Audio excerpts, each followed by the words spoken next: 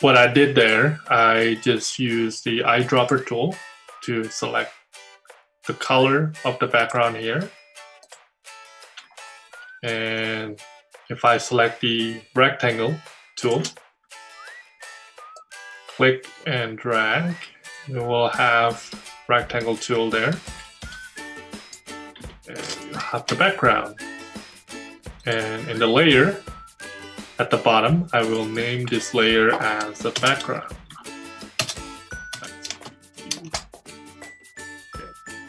Now, since this is a background, I'm not gonna do anything else. This is just for a simple background that I'm, I need to use to reference my art. I'm going to lock this background by coming here at the bottom here. You see you have these options here. You can either hide it or you make it look, uh, you can have it as a line or you want to lock it. In this case, I want to lock the background. And then the next thing I will do is to create a new layer. There you go. So I have a new layers on top of the background where I'm going to start building the snowman here. All right, so as you can, uh, snowman start with circle. We want to find a circle, we can't find it here, so we'll go to rectangle tool. If you click and hold, you will have options there. And for these purposes, we want oval tool. Right. Now, if you click while and drag while pressing shift, you will have the oval at, in the same size and a very um, you will have the same sizing so you will have the, a perfect circle you can't see it, so I should change this color into. I don't want that white. Yeah, change that.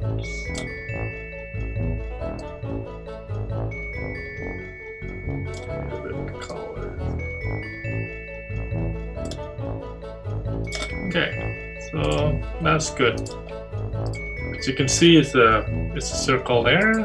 That will be the first. That will be the body and if I wanna I would like to make the circle a little bit bigger.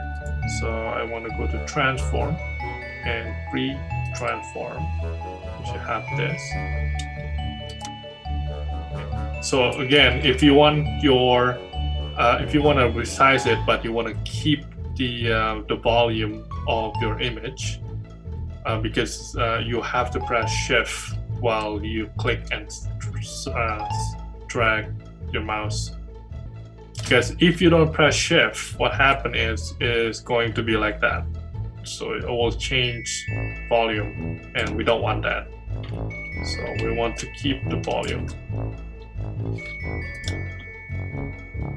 Okay, so I want to make sure this is aligned to the center.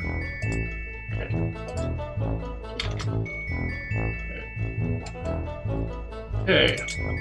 So, and that's the shape there. And the next thing I want to do is to create um, a symbol out of this shape. The symbol is really uh, it's really important in uh, in Adobe Animate because it will help you to animate it really um, to use the full puppet animations uh, style in Adobe Animate. So in, in order to do that properly, we want to have your shapes in different symbol.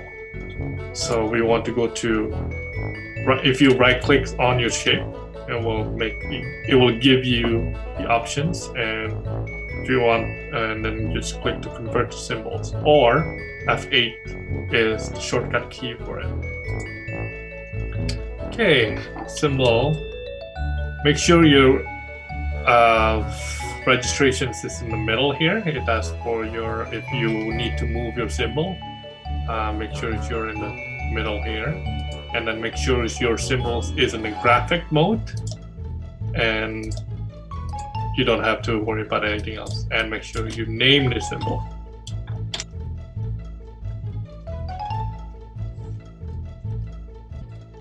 There you go. So as you notice, the line around it will become blue. So this, and then we'll go, what we can do is we can duplicating it. So we'll duplicate the symbol by control C and then control V. What that does is, you know, you copy the symbol and then you paste the symbol. Right, so again, um, I want to free transform that. Uh, free transform, free transform, and shift, and you can drag size a little bit down, and then bring it down.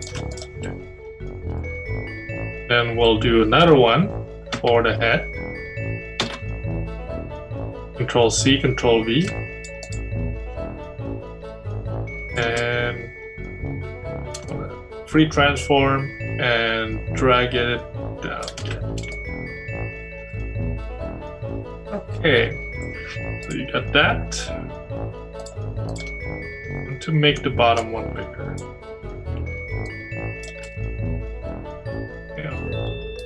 Why not? okay, so we have this tree uh, circle, and what I want to do is I want this and this connected together, if I can. This is all one symbol. So what I want to do is I want to make all this symbol separately. Okay, so if you go to your next symbol, if you right click on it, you will have an option here called duplicate symbol. Okay, and that means it is going to duplicate the symbols that you, uh, the original symbol into a new symbol, which is we call it here body two. Okay, I'll explain more why uh, why that's necessary. Okay, so before I duplicate the symbols on the top here, I will explain why we want to do that. So if you click on the symbol here, if you, sorry, if you double click on the symbol, you will go inside the symbol and inside that symbol is your shape that you created. And in here you can manipulate your shape. So you can see if I met, if I do something at the bottom, the one at the top will follow right? That's because it's in the same symbol. So if you change anything inside the symbols, um, everything else that is using the same symbol will also be affected.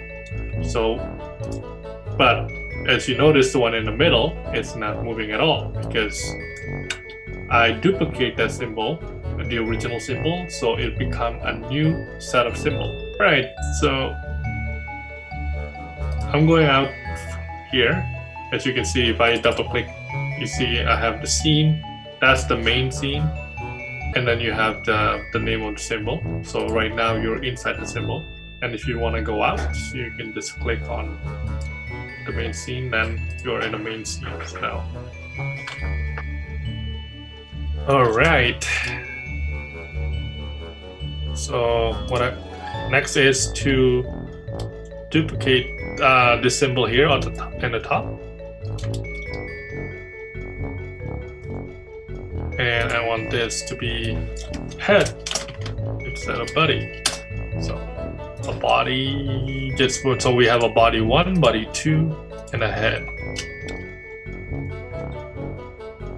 Okay, now the reason why I want to duplicate that, so I want to change the setting here on the second at the pen at the first one at the bottom one.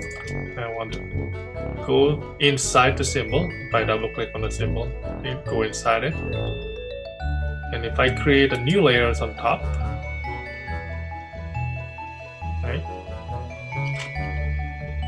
So all I can do is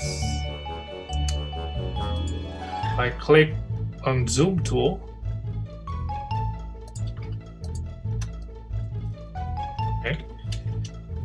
I want to make some kind of a shadow.